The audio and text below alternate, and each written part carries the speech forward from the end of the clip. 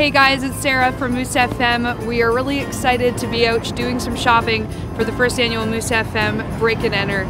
We have a family that we uh, are really excited to give an extra special Christmas to. There's six kids in this family, so we're going to be buying clothing, winter gear, toys, and the like for the Christmas for this family. And uh, we have to say a huge thank you to Fraction Energy Services, to Meyers Norris Penny, to Cheers Pub, and to Fort St. John Co-op for all chipping in and helping us out with our first annual Break and Enter Christmas. We're going to do some shopping now, and the next week we're going to break into this family's home and leave all of these gifts behind. So it's going to be really exciting.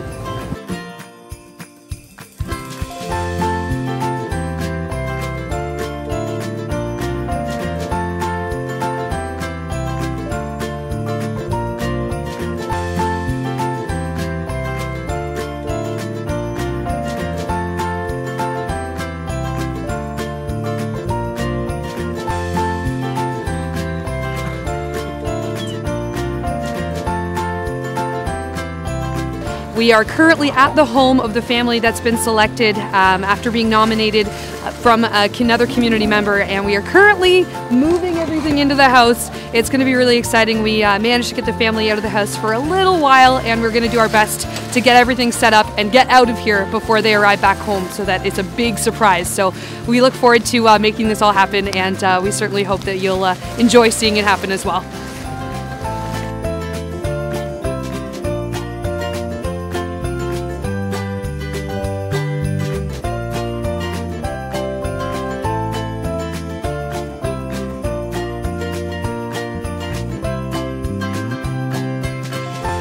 But we're currently moving out their old furniture because we're going to be replacing it with brand new furniture. We've got new beds, we've got a new dining room set, we've got a brand new kitchen table that's going to be right over there that is going to have room for everyone in their family. It's a nice big table and they're going to be able to uh, enjoy a lot of dinners to come at the table. So that's what we're doing right now. We're just cleaning everything up, getting everything cleared out, and then we're going to bring in all the new stuff.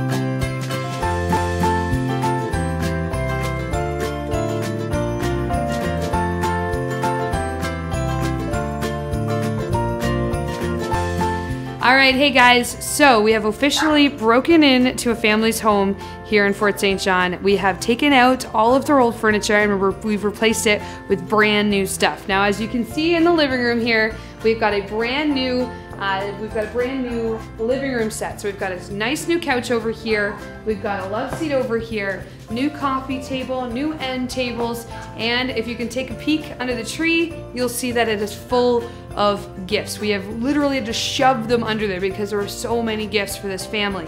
Now over here in the dining room, we've got a brand new dining room set complete with lots of chairs because this is a fairly big family and so we needed to make sure that we had room for everybody to sit around the dinner table. So it's really beautiful. We've got uh, tons of stuff, as I said, under the tree right now for the kids. We've got toys, we've got clothes, we've got tons of things like that. Plus, downstairs, we've got uh, a whole new setup as well than what they had before. As you can see, we brought in brand new beds for them. And now down here before there was just a couch and uh, it was, you know, not overly comfortable down here. Now it totally is. We've got two brand new kids beds here for uh, the little ones. We've got a, a, double bed here for a parent and it's a lot more comfortable here with, uh, with the new bedding and the new beds thanks to City Furniture.